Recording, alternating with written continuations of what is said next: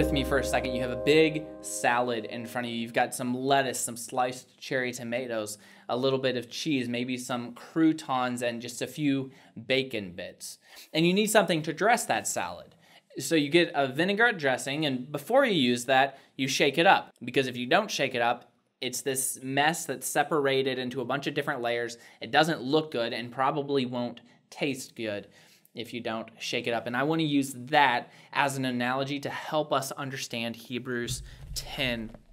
In verse 24, says this And let us consider how to stir up one another to love and good works, not neglecting to meet together, as is the habit of some, but encouraging one another, and all the more as you see the day drawing near. In life, it's really easy to grow stagnant. Following Christ is a whole life thing, not just, you know, a 2-month thing.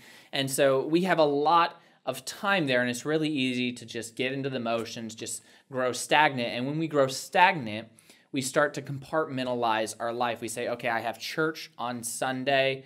I've got my time with God here, and then I've got my work time here. I've got my friends here, family here, and we break apart everything. And then what happens is that our time with God doesn't flow through all of our other times.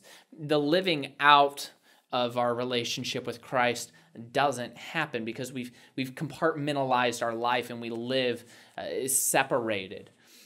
And so we need others to come and stir up love and good works in us, just like that vinaigrette dressing. We need someone to come and shake us up, uh, get us moving, so that that love and good works carries throughout our life. And it's not just coming and saying, hey, do better. It's saying, come, uh, do better. Let's do better together. And I'm going to keep encouraging you. I'm in this together with you. I'm going to stir up love and good works in you, and you're going to do it in me because we both need to grow. We both want to be showing that love and, and showing those good works, not for our glory, but all back to the glory of God. We don't want to sit like a vinaigrette dressing, just stagnant and separated. Uh, we want to be stirred up to love and good works and to meet together and encouraging one another to give all the glory back to our Father in heaven. So that just leaves me with one question. Who do you have in your life that you can go and ask to stir up your life to love and good works and to stick with you and encourage you in this journey of life?